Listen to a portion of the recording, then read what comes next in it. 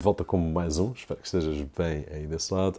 E hoje temos aqui o Ultimeia Magic 420 Pro, um projetor que está porreirinho. Vou partilhar já contigo aqui algumas situações de uma marca que nós temos vindo a ver soundbars, projetores. Vou deixar alguns links por aqui e vou deixar lá embaixo o link que tu já sabes para forprint.pt. Quando precisares de tinteiros, então Forprint consumíveis a preços espetaculares, com uma qualidade muito boa e, claro, como sempre, entrega entre 24 a 48 horas em tua casa sem chatices nenhumas, e o suporte da forprint.pt. Aqui o Ultimeia Magic 420 Pro. Tem um design engraçado, tem esta imitação de pele que não é pele, é um plástico rígido, mas com esta textura que está interessante. Depois tens aqui na parte de trás as ligações todas. Tens HDMI, tens VGA, USB, SD, AV e áudio. Na parte de baixo temos aqui uma quarto de rosca que podemos incluir este acessóriozinho que é para levantar o pé. Por acaso acho que não está muito elegante, mas ok, foi o sistema que eles arranjaram. Vem com um quarto de rosca, o que significa que nós podemos colocar aqui qualquer mount para um tripé.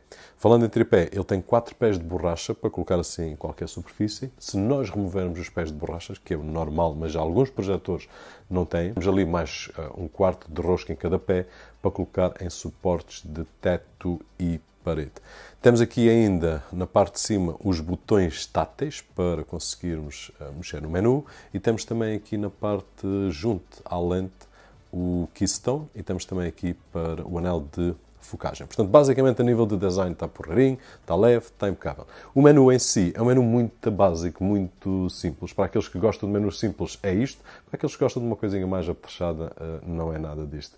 Tem a opção de, como eu estava a dizer, botões táteis para podermos utilizar ali o menu do projetor, ou então podemos utilizar este comando à distância que está aqui, que vem incluído e, para além daquela seleção que temos do tipo de multimédia, que eu nunca utilizo em projetor nenhum. Normalmente é HDMI ou VGA, seja aquilo que for, e está.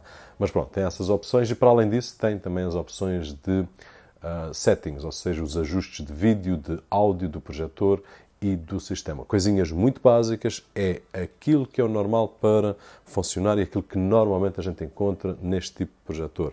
Pois, a nível de ligações, ele consegue-se ligar aos dispositivos da nossa rede através de três tipos de ligação. Consegue-se ligar à nossa rede Wi-Fi, que é essa que eu sugiro e é preferível, porque assim que nós estamos ligados a uma rede Wi-Fi, qualquer dispositivo, seja um portátil, seja um telemóvel, seja aquilo que for, que esteja ligado na mesma rede, então pode transmitir conteúdo para este projetor. Portanto, esta é preferencial, é aquela que se deve utilizar. No entanto, ele tem também uma rede própria. Se tivermos um sítio deslocado, imagina que vais para um sítio qualquer, levas uma bateria, levas não sei o quê e tens isto, ok, podes ligar diretamente a um sinal Wi-Fi que ele próprio transmite e consegues também uh, fazer essa transmissão direta sem ter nenhuma rede Wi-Fi ao pé. Eu fiz esse teste, funciona impecável. É claro, depois tens que utilizar o 4G para ir buscar conteúdo, caso seja isso, ou então conteúdo que tenhas offline. Depois tem ainda uma outra ligação que não é muito comum, que é através de Bluetooth. Tu consegues ligar diretamente e isto é particularmente útil se tu quiseres transmitir áudio, por exemplo, de um telefone para o projetor, caso o projetor esteja ligado a um sistema de som mais decente do que aquilo que ele tem. Nível de imagem, ele faz 720p nativo, no entanto, faz um pass-through de 1080 1080. Portanto, qualquer dispositivo que esteja ligado a 1080 ele vai capturar. E fiz também um teste ali só para ter a certeza que é YouTube 4K, por exemplo. Ok, ele depois passa pela box a 1080 e transmite para aqui a 1080, mas a resolução nativa são 720, que é uma qualidade que está porreirinha para aquilo que ele entrega. A nível de luminosidade, ele tem 8000 lumens, com contraste 9000 para 1, dá-nos uma imagem nítida até às 150 polegadas, sensivelmente, com vários testes que eu fiz de níveis de intensidade de luz, que eu faço ali sempre com quatro uh, tipos de intensidade. Tenho uma assim muito soft, muito lusco-fusco, que é isso que eu aconselho neste tipo de projetor. E depois tenho um segundo nível, um terceiro e um quarto que estoura completamente a imagem que eu tenho aqui da minha Sony. No entanto, é aí que eu coloco o iPhone só para vos mostrar que a Sony, como tem ali uns settings assim manuais e um bocado abusados, estoura com a imagem, mas o iPhone consegue capturar um bocadinho daquilo que eu consigo ver com os meus próprios olhos. A imagem não desaparece completamente e consigo mostrar aí as lâmpadas que eu uso. São lâmpadas muito abusadas. Não há nenhuma sala de estar que eu conheça, ou sei lá, nenhum cantinho assim de cinema que tenha luzes como estas, porque são luzes que eu utilizo para gravação. Eu aqui nestes 40 metros quadrados tenho 30 mil lumens, eu ali do outro lado eu não sei quantos tenho, talvez metade, 15 mil, 20 mil, por aí. Portanto, é um exagero. É só para teres essa noção de que ele aguenta-se, mas chega uma altura que não.